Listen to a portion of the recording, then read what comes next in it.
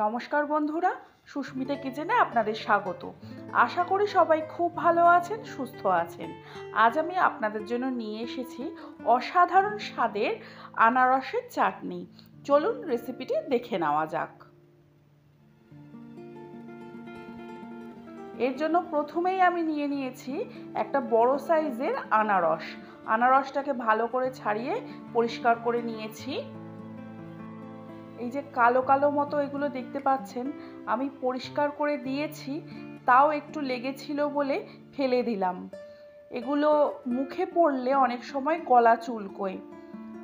তো আমি গ্রেটারে আনারসগুলোকে গ্রেট করে নিচ্ছি। সবগুলোকে একইভাবে গ্রেট করে নেব।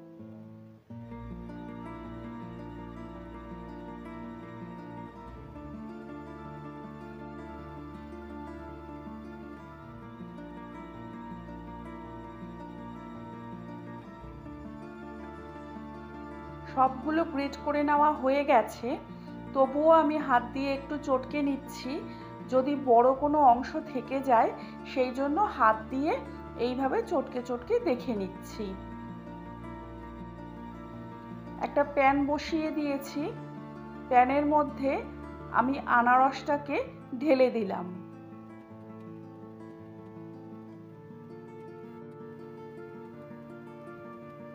দিয়ে দিচ্ছি বিট নুন। আপনারা বিট নুন নাও দিতে পারেন, এমনি নুনও দিতে পারেন। দিয়ে দিচ্ছি গোলমরিচের গুঁড়ো। এবার একটা খুন্তি দিয়ে আমি ভালো করে নেড়ে চেড়ে দিচ্ছি। রসটা যতক্ষণ না টেনে নিচ্ছে, ততক্ষণ পর্যন্ত আমি অপেক্ষা করব। দিয়ে দিচ্ছি কাজু কিশমিশ। কাজু কিশমিশটা আমি দশ থেকে পনেরো মিনিট মতো ভিজিয়ে রেখেছিলাম। আমি কাজু কিশমিশটা একটু আগেই দিয়ে দিলাম, যাতে আনারসের রসটা টেনে নেওয়া পর্যন্ত একটু সেদ্ধ হয়ে যায় কাজু কিশমিশগুলো। আবারও একটু নেড়ে চেড়ে দিচ্ছি। এবারে দিয়ে দেব চিনি। চিনি এখানে আমার স্বাদ অনুযায়ী আমি দিলাম, আপনারা আপনাদের পছন্দ মতো মিষ্টিটা অ্যাড করবেন।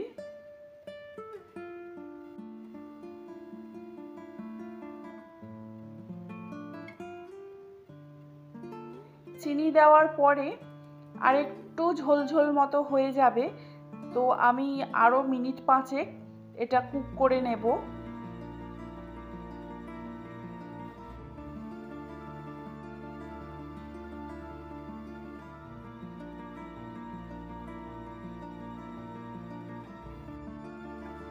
সারা বাড়িময় আনারসের গন্ধে মম করছে। মনে হচ্ছে যেন আমি এখনই খেয়ে নিই এত সুন্দর গন্ধ বেরিয়েছে।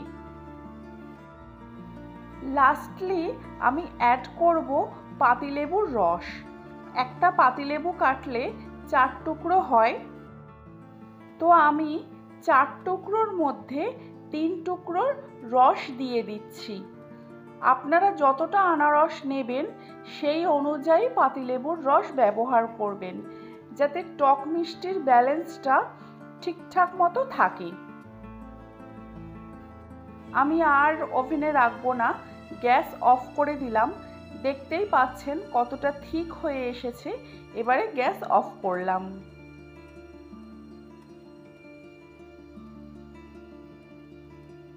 তৈরি হয়ে গেল আনারসের চাটনি। যদি এই রেসিপি আপনাদের ভালো লাগে, তাহলে লাইক করুন কমেন্টে জানান কেমন লাগল। আর যদি ভালো লাগে, তাহলে সাবস্ক্রাইব করে পাশে থাকবেন, বন্ধুদের সাথে শেয়ার করে দেবেন। আজকের ভিডিও এই পর্যন্ত। ভালো থাকুন, সুস্থ থাকুন।